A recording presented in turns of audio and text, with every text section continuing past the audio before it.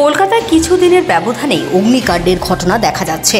শুক্রবার নিমতলা ঘাট স্ট্রিটের কাঠের গুদামের পর ফের ভয়াবহ বিধ্বংসী অগ্নিকাণ্ডের ঘটনা ঘটেছে গার্ডেন ব্রিজের জাতীয় ফুড কর্পোরেশনের কারখানায়।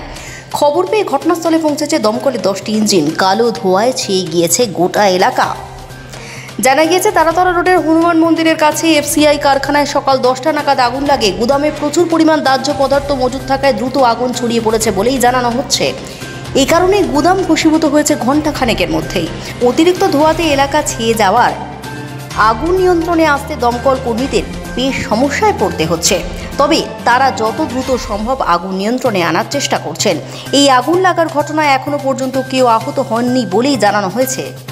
এফসিআই কারখানায় আগুন লাগার কারণে বন্ধ করে দেওয়া হয়েছে তারাতলা রোড। এই গুরুত্বপূর্ণ রাস্তা বন্ধ থাকায় স্বাভাবিকভাবেই যানজটের সৃষ্টি হয়েছে। কি থেকে আগুন লেগেছে তা এখনও জানা যায়নি।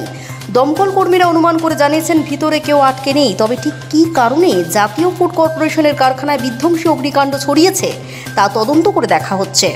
এই ঘটনায় স্বাভাবিকভাবেই এলাকায় তীব্র আতঙ্ক ছড়িয়েছে। ব্যুরো রিপোর্ট খাস খবর